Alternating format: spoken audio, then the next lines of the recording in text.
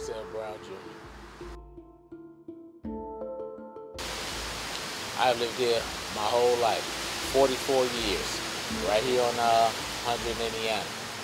Uh, uh, I, I, live across the street now. Uh, bought a home across the street from my parents because I liked the, the neighborhood, I like the community I lived up in, and uh, it was a nice environment to raise my children, and uh, that's why I'm here. Yeah, it's pretty peaceful. Just since every now and then, you know, you may get uh, someone doing something they shouldn't do, uh, you know, like a uh, shooting, you know, which happened not too long ago.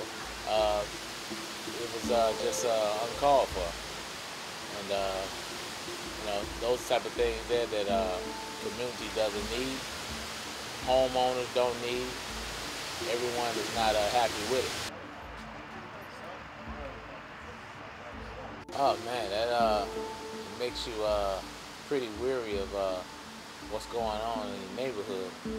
It uh gives you a little sense of uh urgency of uh what needs to be done in the neighborhood. And uh you're a little bit scared, you know, when something is uh like that happens uh, on your block. Kinda kinda gives you a reality check.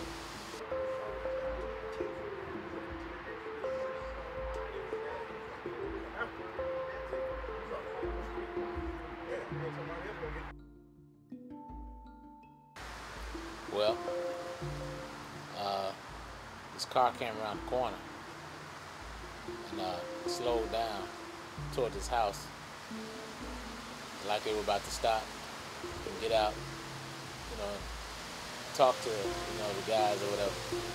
And all of a sudden, this guy started shooting.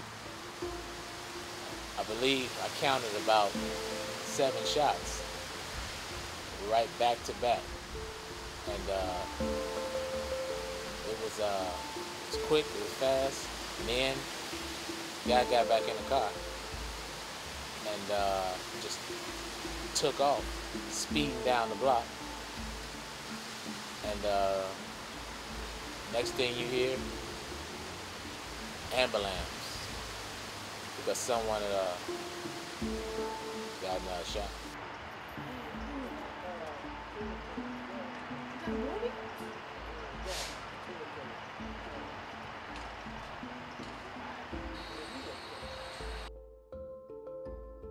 Cops do the best they can do because you gotta remember one thing: cops are human, and uh, just because you're a cop doesn't mean that you don't get scared and you're not weary of every situation you're in. Because I'm sure they're trained to protect themselves first and ask questions later.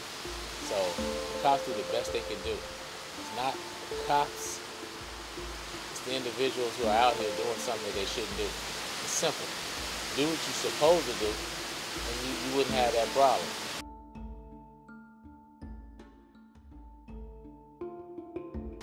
Yeah, I talked to him that night. I talked to him the next day about what had happened, and uh, they were they were like kind of uh, upset also that, that it happened on this block because nothing like that has uh, ever happened before.